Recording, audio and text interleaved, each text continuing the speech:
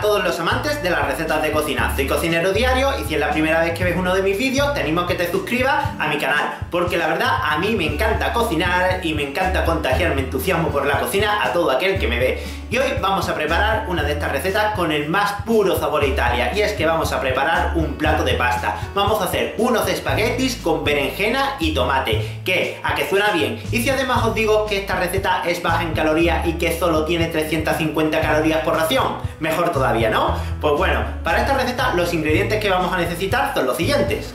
Un poquito de parmesano rallado, un diente de ajo, unos 75 gramos de espagueti, unos 100 gramos de tomate, unas cuantas hojitas de albahaca, 125 gramos de berenjena, una pizquita de sal y una cucharada de aceite de oliva. Estos ingredientes es solamente para un plato. Si vas a hacer más, pues tendréis que ajustar las proporciones de la receta.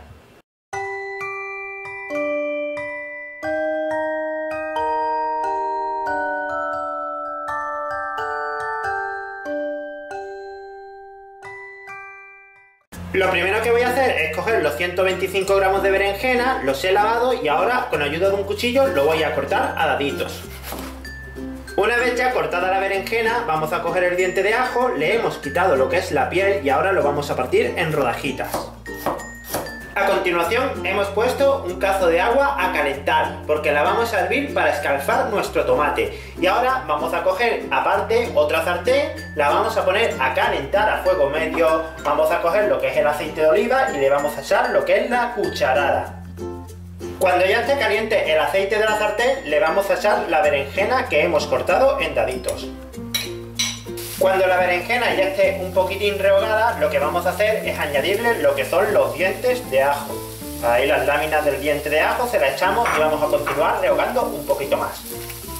Cuando veamos que el agua del cazo ya está hirviendo, vamos a hacer lo siguiente. Cogeremos el tomate y le haremos un par de cortes así transversales en forma de cruz.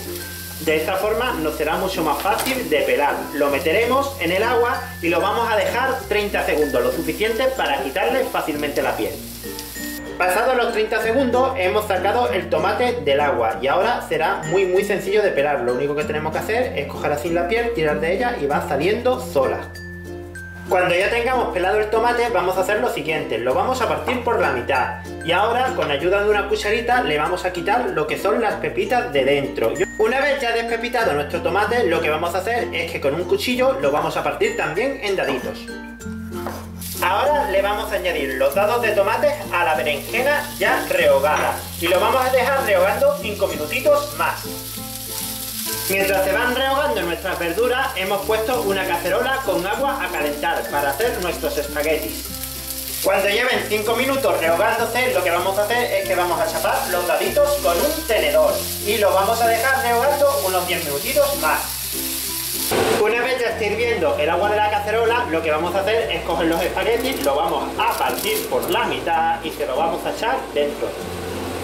Mientras se van haciendo nuestros espaguetis, vamos a picar nuestras hojitas de albahaca. Para ello, cogemos así, le hacemos una bolita con la mano lo más comprimida posible y con, con ayuda del cuchillo lo vamos cortando en casitos.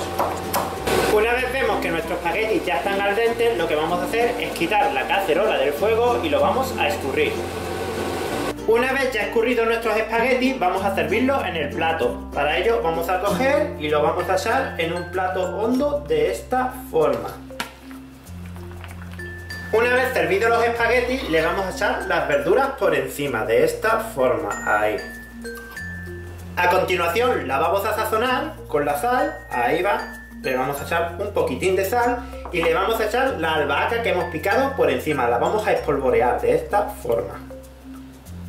A continuación cogeremos el parmesano y vamos a rallar un poquito.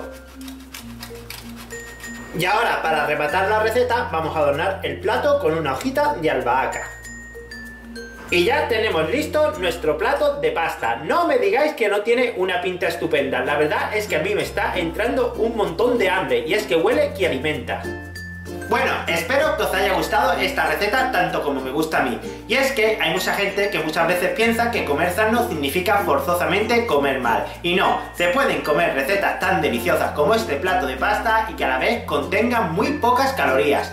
Bueno, yo me voy marchando ya, que se me enfría el plato, pero recuerdo lo que os recuerdo siempre, que si pincháis en la descripción, veréis la receta con todo detalle y las distintas redes sociales por donde podéis seguirme, ya sabéis, son Facebook, Twitter y Google+. También tenéis el enlace a mi blog de cocina, que siempre recomiendo que visitéis, donde encontraréis montones de recetas que seguro que os encantan todas. Y por supuesto, si os gusta esta receta, ese dedito arriba, que no falte, comentarme todo lo que queráis, que siempre respondo los comentarios con muchísimo cariño. Y si os gusta mucho la receta, compartirlo con vuestros amigos y familiares a través de las redes sociales. Bueno, nos vemos, hasta otra.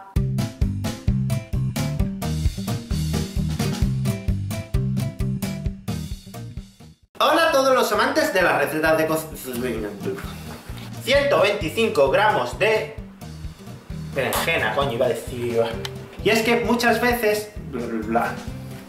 Las distintas redes sociales por las que podéis seguirme, sabéis, sabéis, ya sabéis y tengan muy pocas calorías para no engordar